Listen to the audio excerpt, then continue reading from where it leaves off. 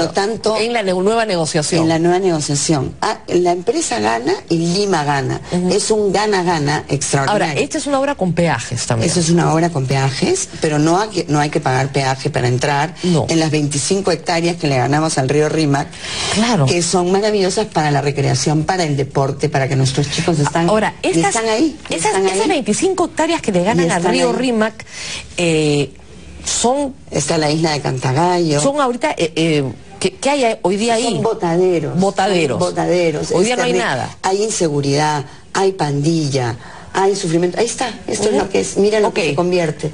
O sea, pero ahí no vive nadie, digamos, no hay, no hay, no hay, hay una zona de eh, reubicación de ciudadanos en riesgo, es muy importante. Claro, eso. Fíjate, fíjate, ese es el riesgo Así es. de eh, que se He caigan muchos reportajes ahí. Y tú los conoces, mira cómo va a quedar. Ah, pero van a sacar las viviendas. Una parte de las viviendas que una están parte. al borde a 50 metros tienen pero están reubicados en mejores viviendas.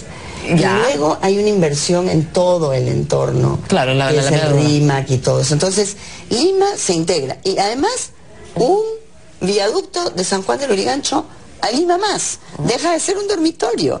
Se integra a la ciudad. Ahora, ¿cuánto, cuánto tiempo va a demorar este esto? sí va a estar, esto sí empieza muy pronto y va a estar al final de nuestro periodo. Porque hay que hacer un túnel debajo del río Rímac. Sí, pero va a estar al final de nuestro periodo y dentro de muy poco, o sea, en el 2012, finales, inicios del 2013, ya se va a poder ver la obra del centro de la ciudad detrás de Palacio de Gobierno, delante de Girón Trujillo, toda la zona de Cantagallo, toda esa zona. ¿Esto es, ¿cuánto, ¿Cuánto dinero es esto? Esos son 700 millones. de dólares. O sea, que se van a invertir. La, la, obra hasta ahora más grande. Ahora, que veo, se ha hecho en veo también en la foto que va a haber un teleférico al Cerro San Cristóbal. ¿o esto es Eso una... es una iniciativa privada de hace mucho tiempo. ¿Ya? De tener dos teleféricos, uno que baje hacia, y está en la maqueta, hacia Paseo de Aguas, de manera que los turistas no... Claro, no, no tengan que subir en el bus. En claro. el bus, no. Suben y bajan, suben, ven las casas de los claro, vecinos, claro. pero también el teleférico, como le decía yo el otro día a Augusto Ortiz Ceballos, puede servir para bajar a una persona que está enferma.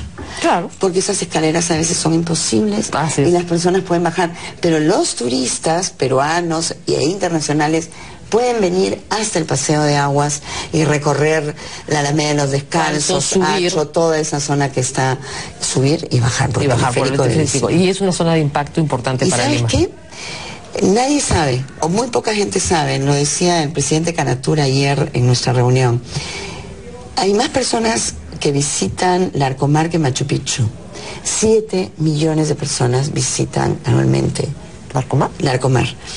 Un millón de personas visita el centro de nuestra ciudad, que tiene 32 museos, que tiene las joyas históricas que tenemos, que tiene unos paseos maravillosos que no te cuestan un cobre poder ir. Claro. Podemos hacer maravillas, tenemos que ponerlo en valor y esta es una obra que va a integrar la ciudad y pone en valor el centro histórico. Bueno, nos tenemos es que ir, una- lament- lamentablemente. Bueno, pero eso ya empezó, o sea, el Esto cambio sí ya empezó. ya empezó. El, cambio, ya empezó. Pero ponga su foto, pues, para que no le digan vaga. No me van a decir va dentro de poco, se van a tener que tragar sus palabritas, así que yo tranquila. Se van a tener que tragar sus palabritas. Sí. bueno, muy bien, mucha suerte, le deseo, la verdad, mucha suerte, porque su suerte es la suerte de todos. Es la suerte de Lima. Y hemos hablado hoy día solo de transporte y de inversión en infraestructura, pero hay muchos otros temas también que la vamos a seguir invitando, seguridad, en fin, te todo lo demás. por tus programas. Acá Estoy muy contenta. Estoy muy contenta de haber vuelto Sí. yo también. Y la gente está muy contenta. De haber vuelto. Muchas Sí. gracias, muchas gracias, muchas gracias. Vamos a una pausa y volvemos.